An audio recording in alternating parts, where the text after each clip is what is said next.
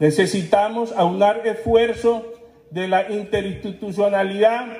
con ese líder que tenemos hoy en el gobierno nacional, que aunque su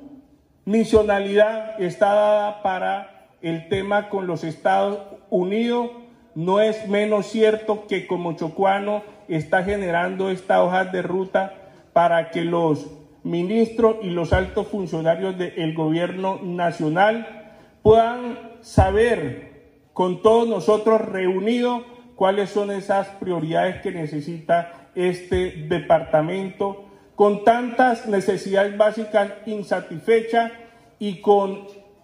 la sumatoria del liderazgo que se necesita, que no es histórico. Aquí nosotros actuamos cada quien por su lado, pero que esta sea esa primera piedra para que actuemos en unidad y consigamos grandes reivindicaciones para el Chocó y para Colombia. Esa colaboración armónica debe ser la hoja de ruta para que nosotros como gobernación, como alcaldías, como los representantes del comité de paro por la reivindicación y la dignidad del departamento de El Chocó, donde están consignadas todas las obras viales y el transporte que, que necesita nuestro departamento puedan llegar hasta el plan de desarrollo nacional y que se garanticen después los recursos para conseguir esas obras de gran impacto que necesita el departamento de El Chocó. En ese contexto, como gobernación, tengo que expresarles y dejar claro aquí que nosotros, amén de los grandes proyectos de los municipios, tenemos que luchar por los proyectos que impacten de mayor forma a la mayor subregiones de nuestro departamento. Con ese tema tenemos el proyecto vial Lajani Manduquí, que sería un gran avance para nosotros tener la salida al mar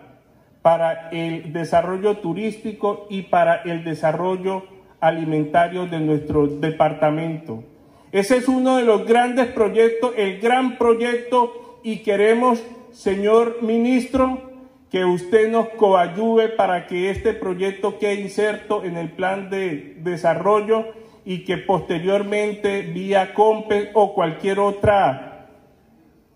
cualquier otra herramienta financiera pudiéramos garantizar los recursos y la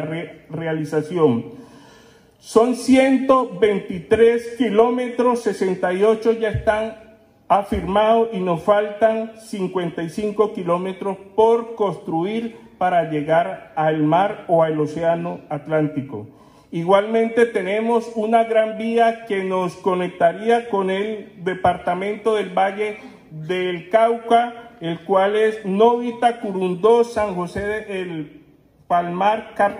Cartago, en el cual también con los constantes bloqueos de la vía tendríamos una opción para sacar y movilizarnos los chocuanos en el departamento.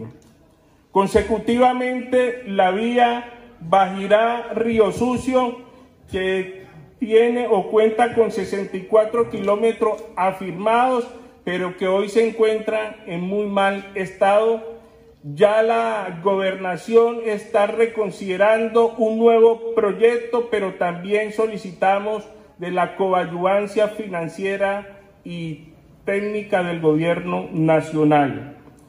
La vía Ismina, Piede, Pepe, Puerto Melú, una vía que realmente también coayudaría a la llegada al Océano Pacífico, conectando a los Badúes con Pizarro y el Mar Pacífico. Estos proyectos están inmersos en el pliego del el Comité de el Paro Cívico están inmersos en el plan de desarrollo departamental, generando confianza y los vamos a, a presentar en los diálogos vinculantes del 11 de noviembre que se realizarán en la ciudad de Quibdó y en la ciudad de Nuquí. Quiero decirles también, ministro, en una reunión que nosotros sostuvimos con el bloque Pacífico en la ciudad de Cali, estábamos solicitando para los diferentes aeropuertos del departamento la financiación para la pavimentación o la repavimentación eh, para las pistas de los aeropuertos de los municipios del Andén Pacífico Chocuano y adicional la del municipio de Condoto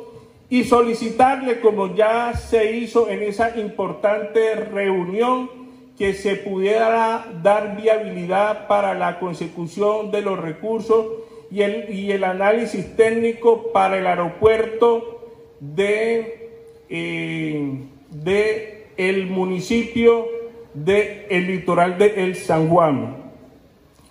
Con el señor presidente Gustavo Petro que nos ha dicho a todos los colombianos que se necesitan aeropuertos para el desarrollo turístico el departamento del Chocó está álgido porque esas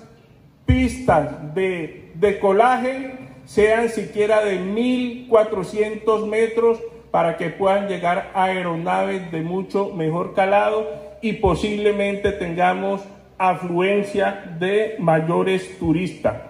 Finalizando, señor ministro y su staff,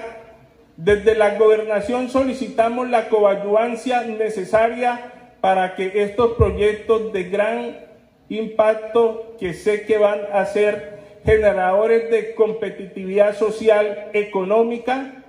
para que usted pueda coadyuvarnos a que queden insertos en el plan de desarrollo nacional y que podamos conseguir los recursos en estos cuatro años para tener realizaciones que beneficien y creen mejores oportunidades para el departamento del Chocó y su gente. Doctor Luis Gilberto, gracias, gracias a los alcaldes, gracias al comité, gracias al doctor Jaime, a todos los, los aquí presentes. Que Dios bendiga esta reunión y que nos lleve a conclusiones para las nuevas generaciones y que haya la recordación que unidos podemos conseguir cualquier propósito, aún sea impensable en el departamento del Chocó. Mil y mil gracias.